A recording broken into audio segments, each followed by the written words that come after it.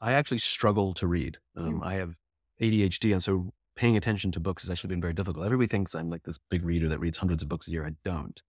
Um, I've written more books than I've read. Um, uh, uh, but I do like learning, and so the way I learn is from listening. So conversations with people who are smarter than me, being being that student, um, Mhm. always having a student mindset, Mhm. insatiably curious about what makes other people tick. Um, so uh, insatiable curiosity in conversations. But I like documentaries as well. Mm. Um, and so, two documentaries that I would recommend, which are fantastic for sort of leadership education. Um, one of them is Senna, uh, S E N N A, which is about race car driver Ayrton Senna.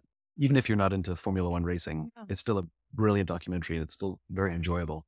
But basically, it highlights these two archetypes Senna, who drives for passion, and Alain Prost, who drives for the numbers. Mm. You know, and if you compare that to our modern day, you know, who's driven by the end of year goal, the quarterly goal at, you know, at any cost Mhm. versus who's the person who does it for the love. Mhm. And you start to see how they command, Senna commands tremendous love and loyalty from the other drivers who are competing against him, Mhm. but they support him, Mhm. where nobody liked Prost. And you just, it, you start to see these two archetypes. And it asks, you know, it's asked the simple question who do you want to be? Mhm. What kind of life do you want to live? Um, do you want to live one of passion or one obsessed with numbers? Mhm. Um, and it's just, it puts it out there. Yeah. Uh, the other one is Kumare, K U M A R E. Yeah, it's it wasn't supposed to be a leadership documentary, but it ends up being a great leadership documentary of a, a documentarian who sets out to sort of mock the sort of guru culture.